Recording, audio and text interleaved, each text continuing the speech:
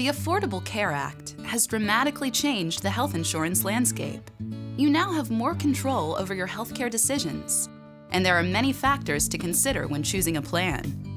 It can feel overwhelming. To help you make an informed decision, let's take a closer look at a new health insurance option available to you.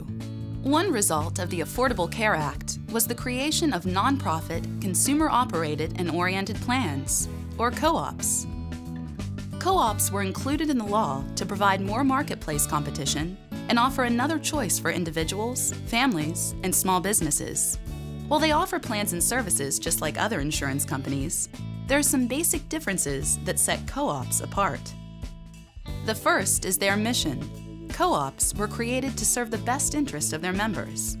Every decision they make must support this mission. Co-ops are innovative Member benefits are designed around a wellness philosophy to keep their members healthy. Co-ops are member governed. Members elect the board of directors.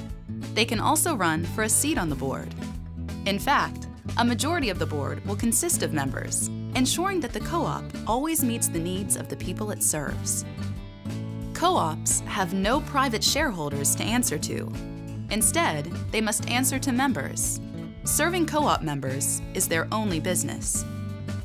Since they are true nonprofits, co-ops are motivated by service and meeting members' needs, not by profits.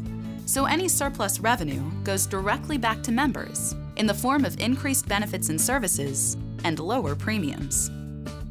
And that's how co-ops operate and how they are different from other insurers. Health Republic Insurance of New Jersey is New Jersey's only healthcare co-op you can enroll several ways.